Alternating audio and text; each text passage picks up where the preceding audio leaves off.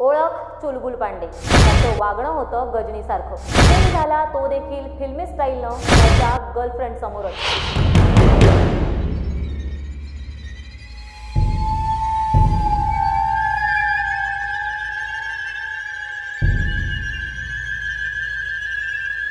नाव गुरु सिद्धप्पा वाघमारे.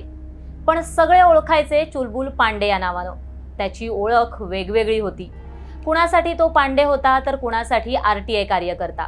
तर कुणासाठी खबरी आणि खंडणीखोर? एक नवल म्हणजे त्यानं त्याच्या बावीस शत्रूंच्या नावांचा टॅटू आपल्या मांडीवर काढला होता. मंगळवारी त्याचा पन्नासावा वाढदिवस होता.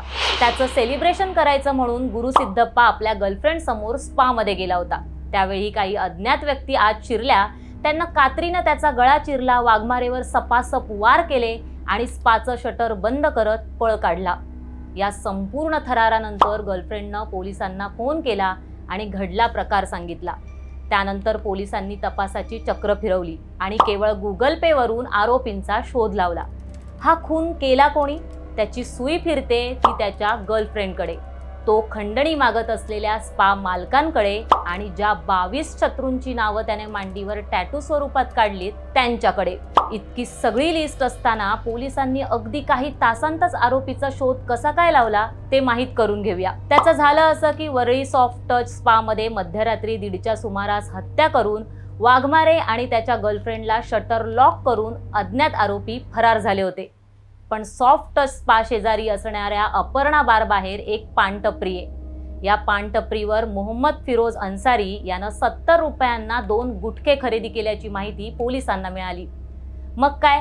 पोलिसांनी पानटपरीवरील विक्रेत्याला फिरोजनं सत्तर रुपये कसे दिले असं विचारलं. त्यानं उत्तर दिलं जी पेने मग काय होतं? पोलिसांनी फिरोजचा नंबर मिळवला तो नंबर पोलिसांनी ट्रेस केला आणि त्याला नालासोपाऱ्यातून ताब्यात घेतलं. त्यानंतर हत्येचा उलगडा झाला.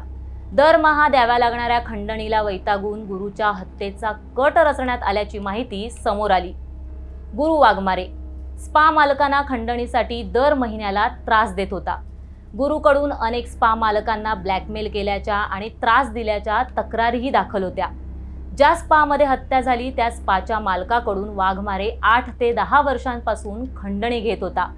दरमहा द्याव्या लागणाऱ्या खंडणीला वैतागून हत्येचा कट रचल्याची माहिती पोलिसांसमोर आली आहे या प्रकरणात सर्वात मोठा ट्विस्ट म्हणजे आपले शत्रू कधीतरी आपला काटा काढतील अशी शंका कदाचित गुरुला होती. त्यामुळंच त्यानं चक्क आपल्या शत्रूंची नावं आपल्या दोन्ही मांड्यांवर गोंदवलेली होती. माझ्या जीवितास काही बरं वाईट झालं तर हे लोक जबाबदार असतील असं देखील त्याने त्यात लिहिलं होतं. त्यामध्ये हत्या प्रकरणात आरोपी असलेल्या व्यक्तीचंही नाव आहे. माझ्या दुश्मनांची नावं डायरीत नोंद देत चौकशी करून कारवाई करावी असंही वाघमारेनं स्वतःच्या मांडीवर गोंदवलेलं होतं. या बावीस नावांमध्ये स्वतःच्या कुटुंबातील दोन सदस्यांची नावं असल्याचंही समोर आलंय.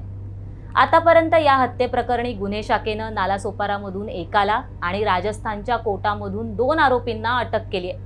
वरळी पोलिसांनी स्पाच्या मालकाला देखील अटक केलेली आहे. या प्रकरणाचा तपास अजूनही सुरू आहे. या प्रकरणात आणखी काही नावं समोर येण्याची शक्यता आहे.